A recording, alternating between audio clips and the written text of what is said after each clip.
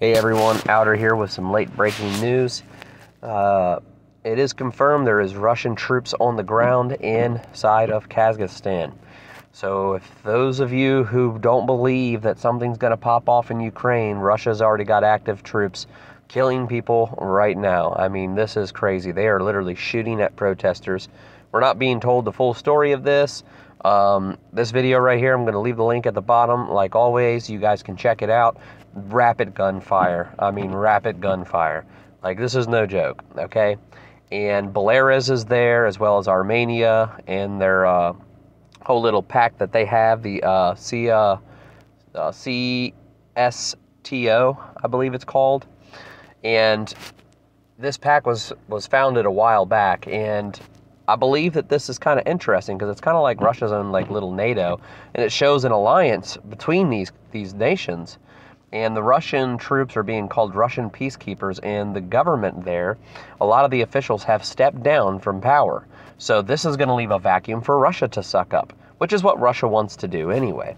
So Russia's going to probably seize control of the most uranium rich nation in the world that produces the most uranium right before World War and invade Ukraine.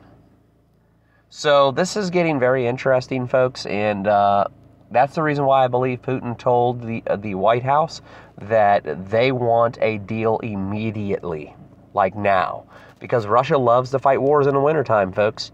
It's to be the perfect time for them to do what they need to do. So just be ready because it's already popping off in Kazakhstan. You know, what a way to start off 2020. Here we are entering into a possible world war, folks. So just uh, wanted to give you guys this update. Update. Um, it's not just uh, um, regular old uh, um, combat troops that are on the ground. Uh, they got paratroopers parachuting in and flying in, and it's just crazy. I mean, it's just nuts what's happening. So, you know, a lot of crazy stuff going on, folks. We're gonna keep an eye on this. As always, they say dozens of protesters are dead and, and a couple police officers.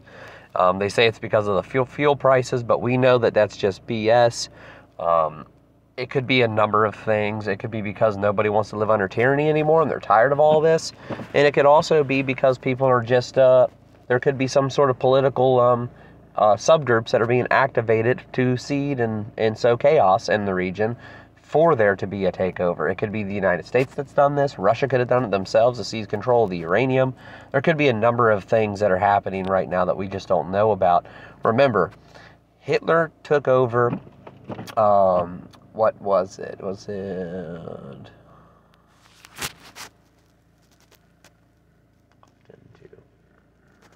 took over Poland?